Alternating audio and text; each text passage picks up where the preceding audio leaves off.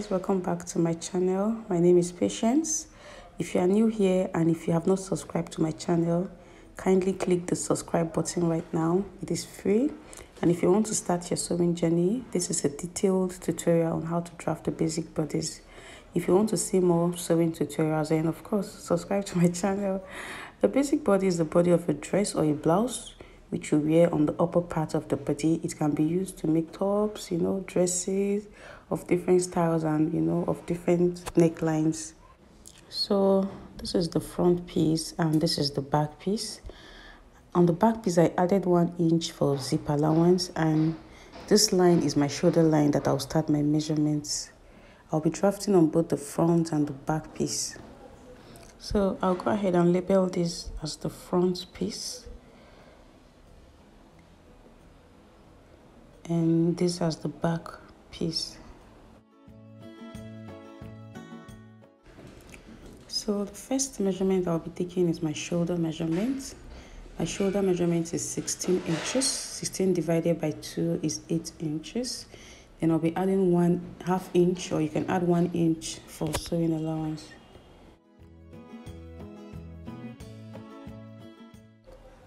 Then I'll come down by one inch from the eight and a half inches for my shoulder slant because our shoulders are not straight.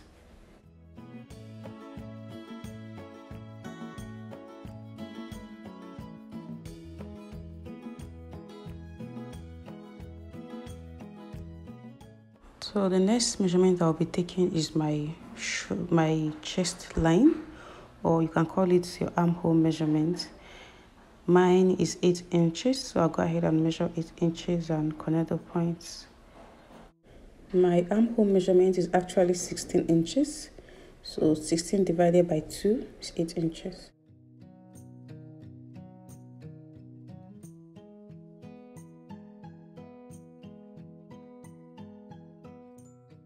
So I'll go ahead and measure this 8.5 inches on the chest line then I'll connect the points making a vertical line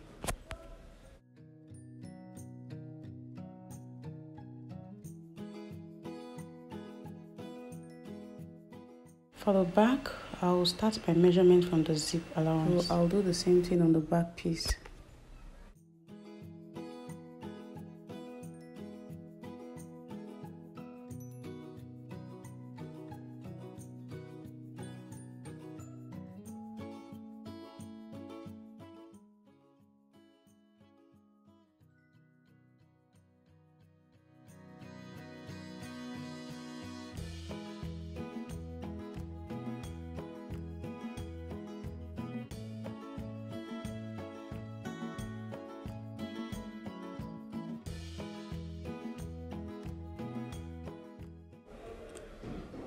So the next measurement I'll be taking is my shoulder to bust measurement.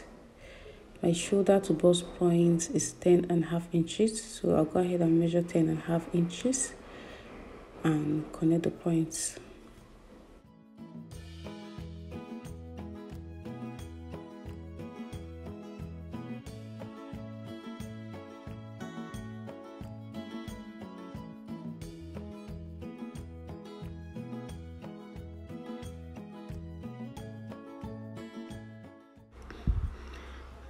So the next measurement i'll be taking is my shoulder to waist measurement. So my shoulder to waist measurement is 17 inches. I'll go ahead and measure 17 inches and connect the points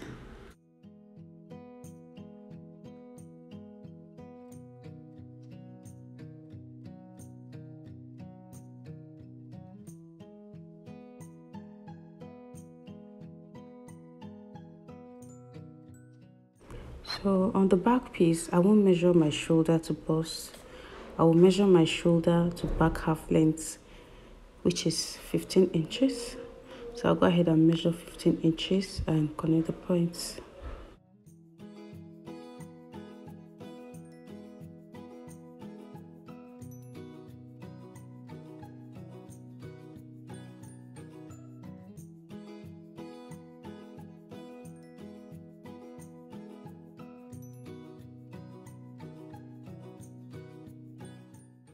So I'll also be taking my shoulder to waist measurement on the back piece.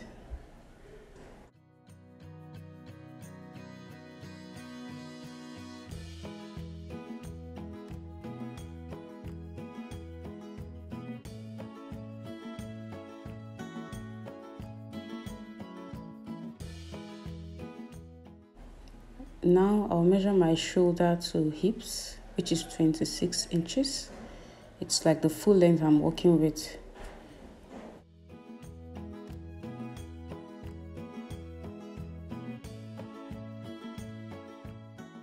So the next thing I'll be doing is to create my armhole. I'll go ahead and measure this vertical line and mark out the midpoint which is 4 inches. Then I'll come in by 3 quarter inch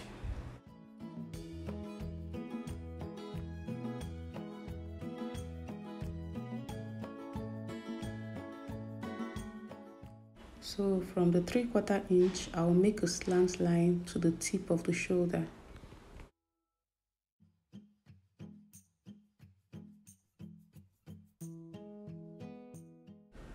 Then I'll use the curved ruler to curve my armhole.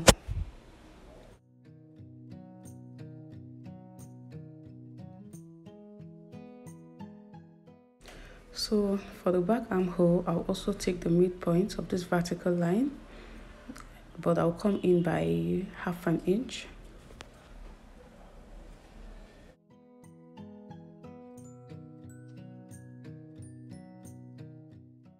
Then from the half inch I'll connect I'll make a slant line to the tip of the shoulder then curve my armhole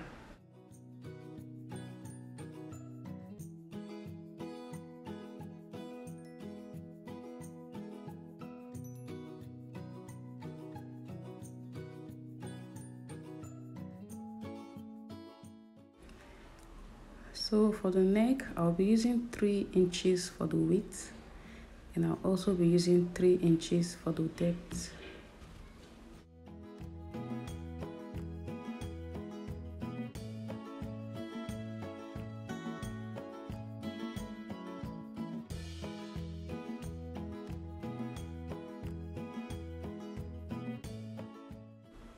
So for the back neck i'll also be using three inches for the width but I'll be using one inch for the depth.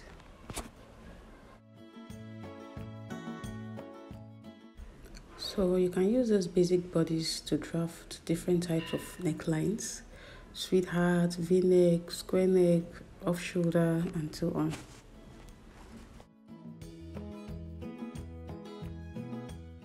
So the next thing is to create our darts in order to do so, we need our bust span measurement, which is the distance from one nipple to another.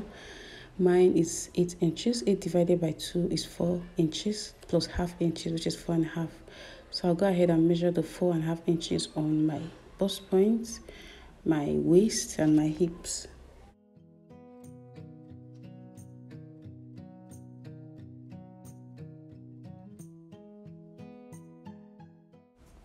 So on the hips, I'll come up by 2 inches.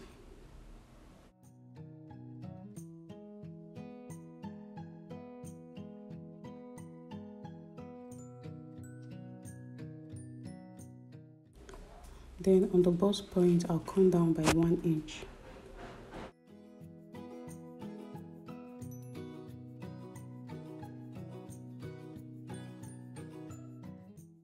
And I'll go ahead and connect the points. That is from the 2 inches and the 1 inch.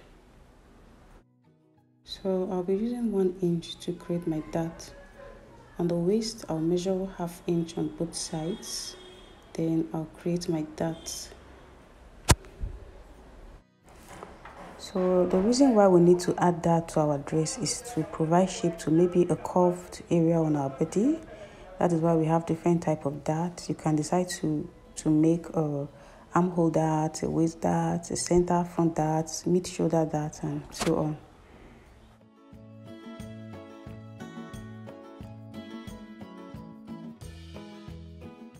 So for the back, I'll also measure my bust span measurement on the chest line, on the waist line, and also the hip line.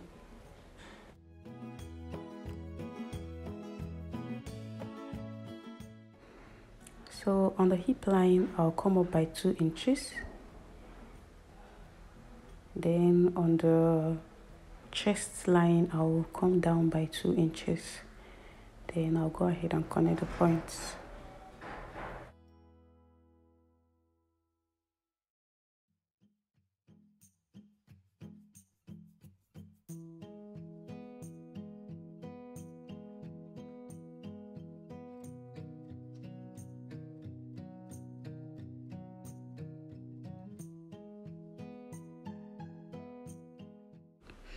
so on the back I'll also be using one inch for the dart I'll go ahead and measure half inch on both sides on the waist.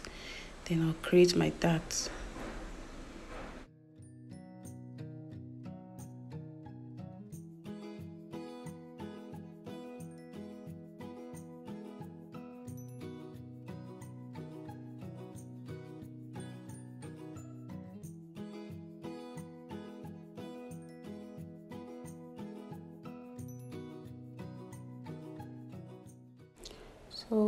taking a mid shoulder dart.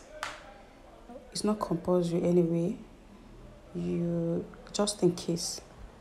So from the bust point, I'll come up by one inch. I'll go ahead and measure my shoulder and mark the midpoint. Then I'll connect the points together. That is from the midpoint of the shoulder and the one inch on the bust point.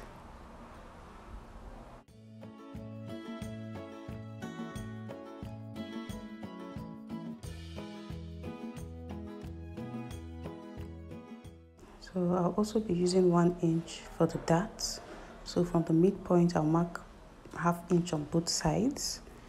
Then I'll create my darts.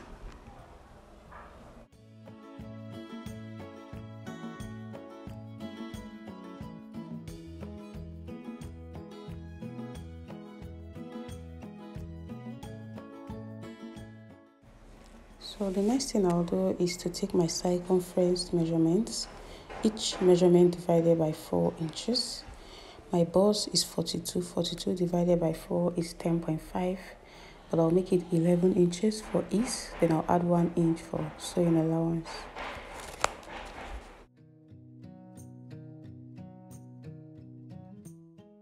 So I'll bring down the measurement also on my bust line.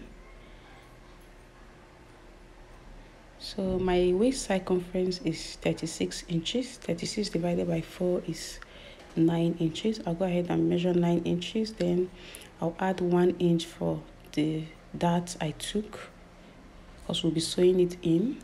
So an extra 1 inch for sewing allowance. So my hip measurement is 44 inches. 44 divided by 4 is 11 inches I'll go ahead and mark 11 inches and 1 inch for sewing allowance. Then I'll connect the point to create my shape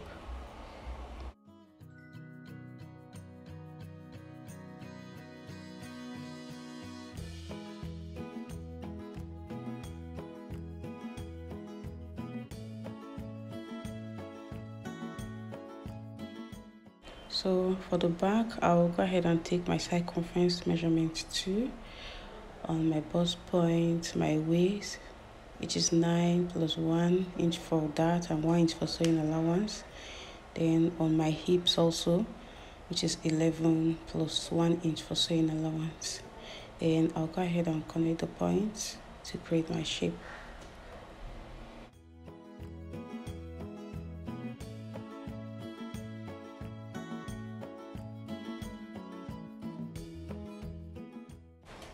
so on my back half length which is 15 inches I'll I'll go ahead and measure one inch for my zip tightening.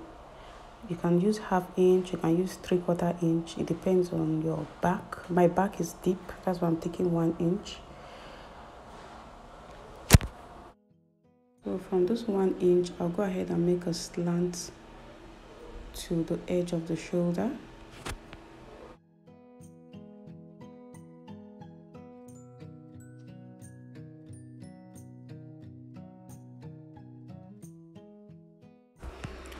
also make a slant line from the one inch to the edge of the hip line. So the reason why we take zip tightening is just to avoid or at least reduce zip bulge, a situation where the zip at the center back is not fitted. So that is that.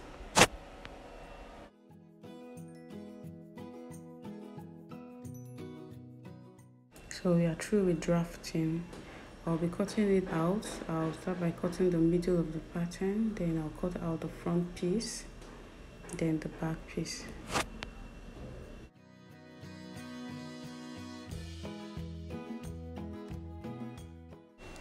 So I also have a tutorial on how to draft a basic sleeve.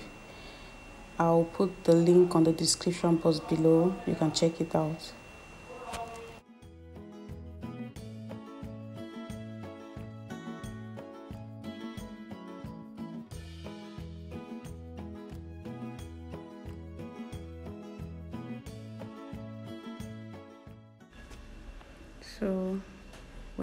On your fabric, remember that both should be on fold and you still take your one inch for zipper allowance. I'll go ahead and label this for me to know which is which. This is the back piece.